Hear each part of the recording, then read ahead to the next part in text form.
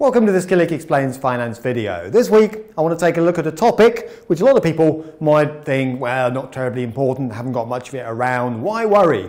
Inflation. Why many savers constantly misjudge it and the price you potentially pay for doing so.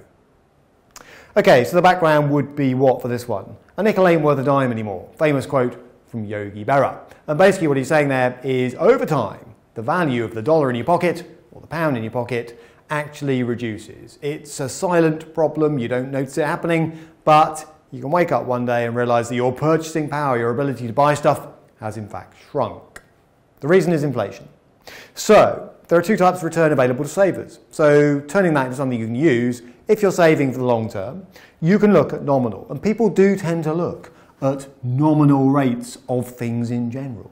That's the return achieved before inflation because most savings rates are nominal rates. Earn 3%, they say. They're not taking inflation into account. You can get 8% growth, they say, not taking inflation into account. Most things that are thrown at us are not inflation adjusted. But the real, literally, if you like, in your pocket return that you're making should be inflation adjusted. And the annoying thing can be sometimes you don't get quoted a post-inflation number, but you should nonetheless factor it in. Now, why this matters? Basically, inflation eats away at long-term returns. It's a silent destroyer of wealth. The effect is to reduce what's called your purchasing power over time, a grand way of saying what you can buy with the money in your pocket, if you like. And yet, as Irving Fisher noted in The Money Illusion, people prefer to think in nominal terms. So even though inflation can do a lot of damage over the long term, people still prefer to think in nominal terms. They find it easier, and I have some sympathy with why. Now, why do we ignore inflation? I think there are three reasons, basically. Number one, the rate is currently very low. So a lot of people think, well, if it's low, I can sort of forget about it, can't I?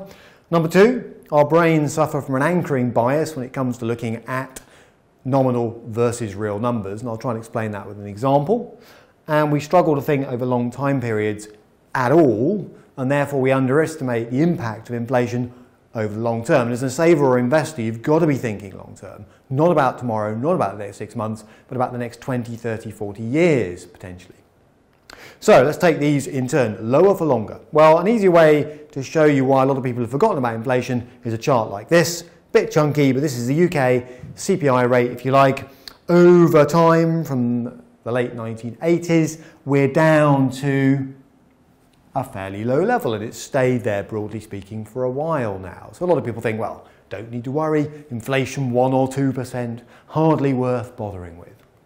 But beware of the impact of a supply shock. Now, as I make this video, we are in the throes of markets reacting to the coronavirus. And one of the reasons that is potentially dangerous is because we might get, for the first time in my lifetime, a global supply shock. What does that mean? It sounds like a, a terribly long-winded, scary economic phrase. It means that goods and services might temporarily, perhaps, slow down moving around the world. And if that happens, competition for those goods and services could increase. And what you might get is slower growth combined with higher prices. And that is a bit of a nightmare. And it's why central banks are probably pausing at the moment, unsure what to do next. Now, this could all blow over. Coronavirus may be literally something that just comes and goes, but that possibility of a supply shock leaves inflation in the short term on the table at least, even if we're not going to sort of panic about rising inflation just yet. So I'll leave that thought with you. Then there's the anchoring effect. This is psychological. This is, regardless of the rate of inflation, the way we think. So to demonstrate this, Tom and Tim both work as advisors, let's say. In a year of zero inflation, Tom is offered a pay rise of 2%. And this, by the way, is based around a famous study. It's not just my random thoughts, if you like. In a year where inflation is 4%, Tim is offered 5 So here you go. Virtually no price inflation. Tom, 2% deal on the table. Inflation is running at 4%, around double the current reported rate. Tim is offered 5%. Now, the study was all about this basically. In 1997, so going back a bit, there was a big study done about whether you'd rather be Tom or Tim. And the answer depends. If you're asked the question, who's better off in economic terms, most people went for Tom. Because they said, when inflation's zero, he's getting a pay rise of 2%. That's a good pay rise in that context, 2% more than the rate at which prices are rising in general. So he will be happier versus the 1% margin that's on offer for Tim, if you like, 5% versus 4%.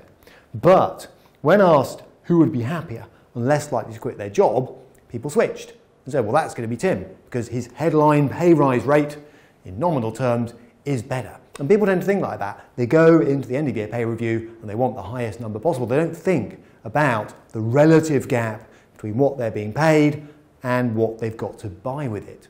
And in an era of deflation, by the way, should we ever hit such a thing, Japan's skirted around deflation. In technical terms, you should be negotiating your pay cut at the end of the year as prices fall. Sounds pretty weird, it's not how most people think. Hence the logic behind Tim being happier and less likely to quit his job, even though in economic terms, Tom is better off. So the hidden long-term impact is what here? Well, basically, the rule of 72 is useful. So this is the third reason people tend to forget about inflation. The effect is hidden, if you like. The rule of 72 basically says if you divide 72 by a prevailing inflation rate, you get the length of time it will take to halve what you can buy with your money. So at 3% inflation, 72 divided by 3 is 24. So your purchasing power halves in 24 years ramp up the rate at 4%, it halves in 18, and at 10%, I know we're way off that, but we've been there in the past in Venice, but we are some way off that, it takes only seven years. Now, you can't see that happening, it just happens quite silently in a sort of hidden effect as the value of your money erodes and the price of goods and services increases. Another way to see this, some of you have seen this chart before, is you start with £100 in 1976, Inflation reduces it in buying power terms by the end of 2019 to way less, around the, depending on which measurement you look at, around the 9 or 10p mark. So, conclusions would be what from all this? Well, basically, it's easier to think in nominal terms, but be careful. Easy isn't always best. Inflation risk is especially high in assets such as cash, where you're earning a relatively low return, and always think about that return in inflation adjusted terms if you can. And the effect is cumulative. And this is the thing about inflation. Over a short period, it doesn't do much damage to any asset class, frankly, but over the long term, it certainly can do because it constantly erodes at a cumulative compound effect, constantly erodes what you can buy with the same money. So there you have it, editor at Killik.com with queries. And if you want to watch other videos related to this topic, killik.com forward slash learn.